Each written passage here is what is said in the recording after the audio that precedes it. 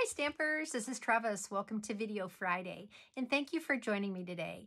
So today we are going to be using some of the designer series paper from the mini catalog and the mini catalog is in effect until January 3rd.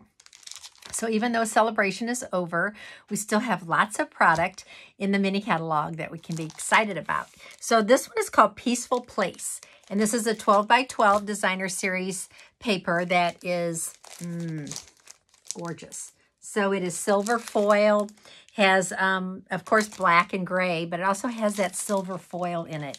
And um, although I'm not going to be using the piece with the silver foil today, I am going to be using a piece that I am in love with, and it's this piece. Okay, so the other side is black and white with some um, silver in it. This piece is so cute, right? So there's a matching stamp set with this, and I don't have the matching stamp set. So I am just going to use this. I'm also going to use our cork um, designer paper, and that is offered again in the mini catalog. This is a 12 by 12 pack of paper, and this is real cork. You get two sheets in a pack. And if you it's just unbelievable, really. I mean, it is real cork, thin, layered on top of a piece of, of paper, kind of like craft paper, which the back is pretty cool too. but, um, of course, we want to use the cork today. So we are going to make a peekaboo card. And I have chosen the um, stitched rectangles as my um, layering um, layering tool that I'm going to use today. So I'm going to use two of the rectangles from the rectangle stitched rectangles. So I'm going to use these. I'm going to layer these today and use it with um, our card. I'm also going to use Sparkle of the Season, which is also from the mini catalog, this stamp set. You've seen me use it in the past. I'm going to use the Merry Christmas from this stamp set. Okay, and we're going to use blending brushes. We're going to do, we're going to use some copper foil. So we're going to go crazy. All right. So let's get started. So the first thing I want to do is I'm going to take my designer series paper. I've cut this six by um, six by four. And I am going to uh, use some blending brushes. I'm going to use some different colors of ink. I'm actually going to use Mossy Meadow and Soft Suede. So I'm not going to go too crazy with this, but I am going to add some color. So I'm going to open my pads. And I'm going to bring in my blending brushes. So I just keep my blending brushes in this, which is a, whoops, which one just fell out, which is a little container. And I just um, don't wash them. I make it easy on myself. And I just keep them in here and it's so easy to find them and use them. I got that one in the brown, which is okay. Okay, so I'm going to use this one. I think this is the one I used for the brown. I could put little labels on them, which I'm considering doing. I'm also going to use the green, the one that I've saved for green. So I'm going to use that.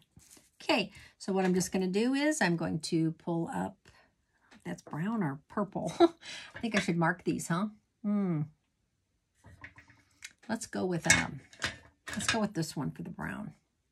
Okay, so what I'm going to do first is I'm going to pull up some ink. So our blending brushes, right, are three in a pack for $12. And um, they are awesome, easy to use. So I'm just going to spotlight do some spotlighting with these um, buildings. Well, you can hear my bracelets. Huh? I'm a bracelet girl. I love my bracelets. Um, so,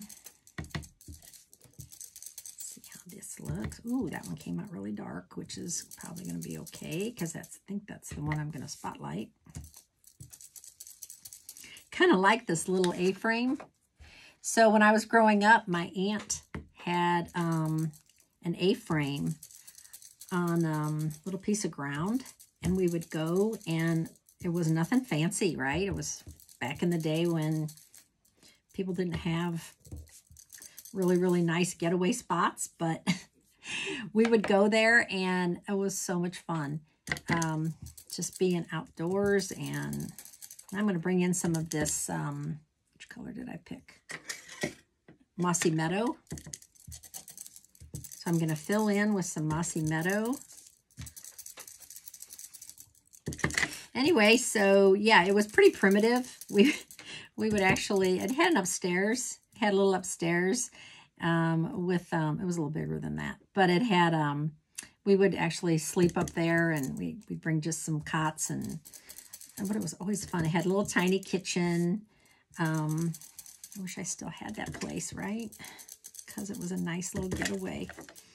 And as a kid, I remember going there with my cousins and just having a ball. We would stay up late. They would let us stay up late, play games. Um, it was just really fun. So when I see that little A-frame, I sort of think of my Aunt Rainey and um, her little A-frame. So, I don't know. It doesn't make me sad, but it does make me miss it. I don't know. Do you have a place like that that you have in your childhood that you kind of remember? So you see I'm kind of, I'm picking up the ink and then I'm blotting off some of it. And the reason is so I don't get big blobs. I get a smoother, smoother look. And you can always come back and you can pick up some more. So I'm going to pick up some more of the, of the brown. Spotlight the buildings more now.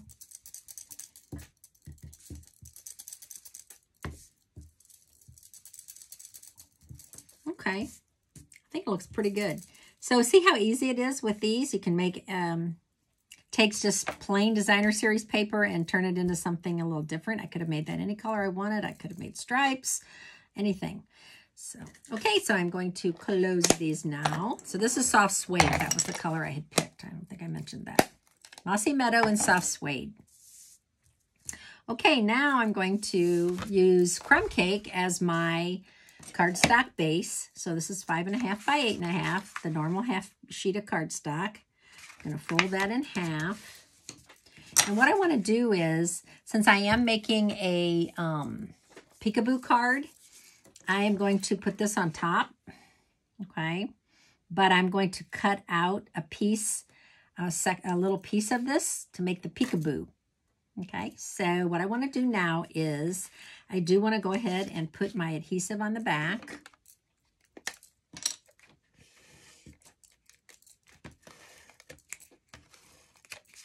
like that. Put quite a bit on here because I don't want that to come loose. Okay, so I'm going to attach that. Now what I'm going to do is I'm going to cut out a small square. And this is going to be on the inside of my card. So I am going to, ooh, I cut that big. Okay, get my paper trimmer. Sorry. I need to cut that down. So I'm going to cut this down. It's four by six. I think I cut it for some bizarre reason. So I'm going to cut it um, four by five and a quarter. Ooh, might save that little piece for something. Maybe to put on my envelope. Aha. Oh. Okay. So what I want to do now is I want to go ahead and put this on the inside of my card. And so see how rustic that looks in comparison to the to the silver foil side? It really looks rustic to me.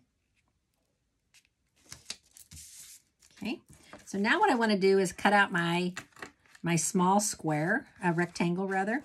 And so I am just going to wing it. I could take a pencil and I could be real accurate with it, but guess what? I'm not going to do that. I'm going to make it easy. So I'm going to bring up my cut and emboss. And I am going to cut this out. Because really, right, there's really no um, bad area in that designer series paper. So even if I, even if I uh, don't exactly capture the perfect little spot.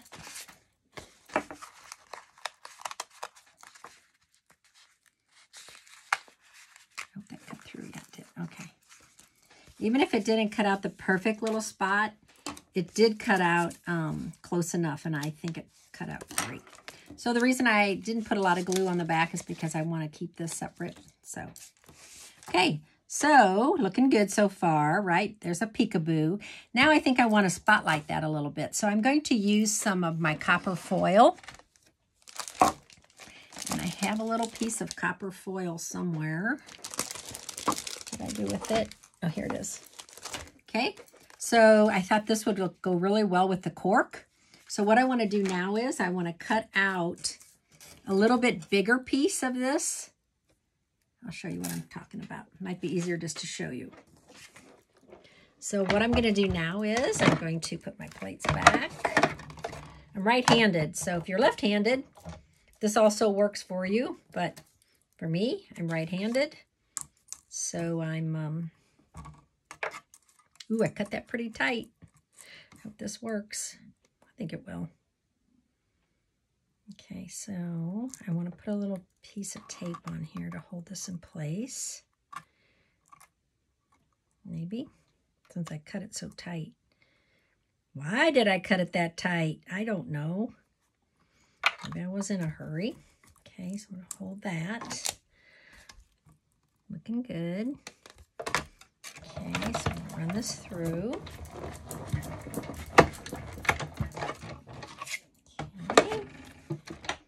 Should mention if your plates are are scratched and etched, um, you should be a little careful. Uh, mine came out fine, but that could have etched um, into my, I wouldn't have liked it, into my foil. That would have been a bummer.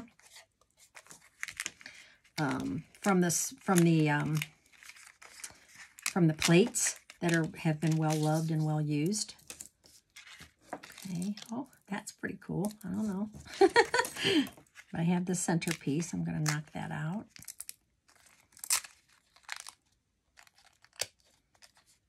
Okay.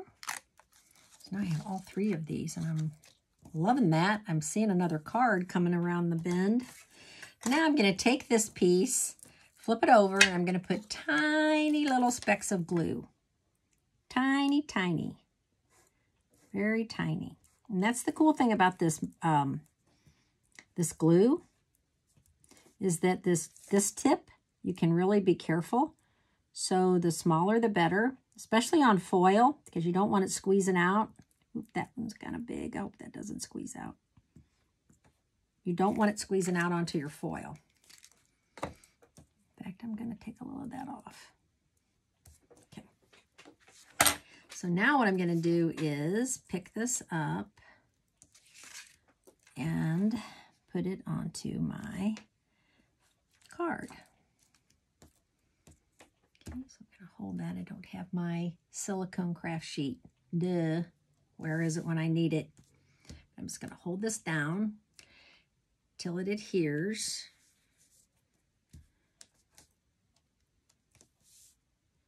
Okay, so that is cork, so let's see.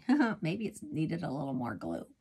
Not sure. Maybe I should have used uh, regular adhesive. We'll see. Yeah, it's not really sticking, is it? Hmm. Hmm, hmm, hmm. Okay, that didn't work. Let's try the next plan. The next plan is put some adhesive on here. And this should work. So, I learned something.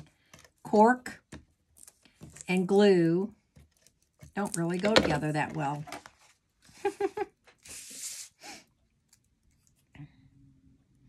cork and liquid glue. The cork does not really like the liquid glue, so there we go. Okay, so before we do the last piece, I'm going to stamp my Merry Christmas. And I'm going to stamp that in Early Espresso.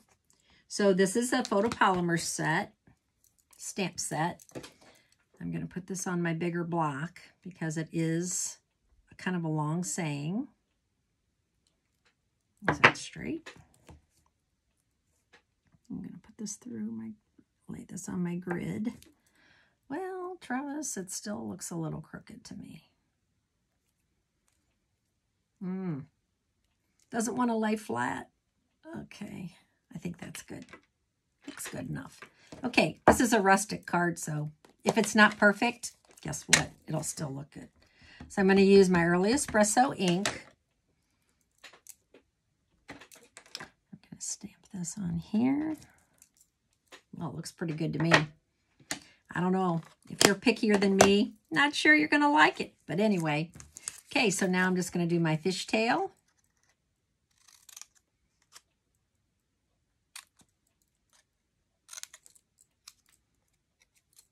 Fishtail. Okay. And I'm going to have this coming a little bit onto the onto the card. So I am going to only put adhesive right here because I don't really want this part to be sticky. And there's our card.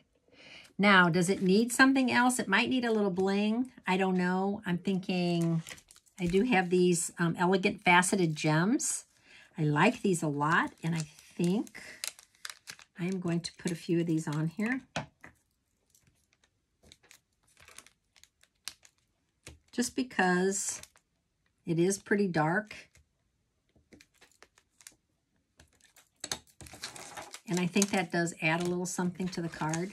So there's our peekaboo card today.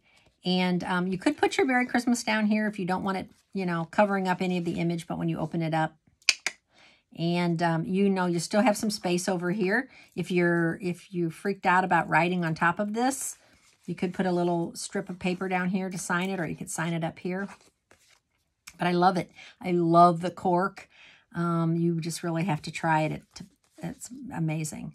So hope you enjoyed this video today and have a great weekend. May you be blessed today and be a blessing to someone. Thanks. Bye.